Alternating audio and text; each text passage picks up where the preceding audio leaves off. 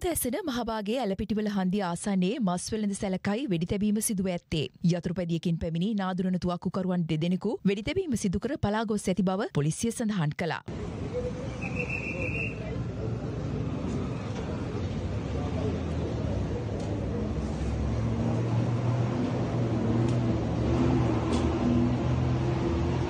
වෙඩිවැදීමෙන් බරපතල තුවා ලැබූ පුද්ගලයා රාගම රෝහල්ට ඇතුළත් කිරීමේදී මිය ගොස් තිබෙනවා. මෙලෙස මිය ගොස් ඇත්තේ කදාන ප්‍රදේශයේ පදිංචි හෙටියාරච්චිලාගේ දොන් සුනිල් නම්මයෙක්.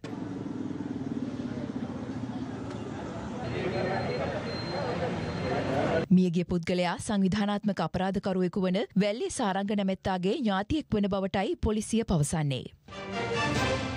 රටේ ලෝකෙ සිදුවන උණුසුම්පුව දැනගන්න සියත නිවස් YouTube චැනල් එක අදම සබස්ක්‍රයිබ් කරන්න.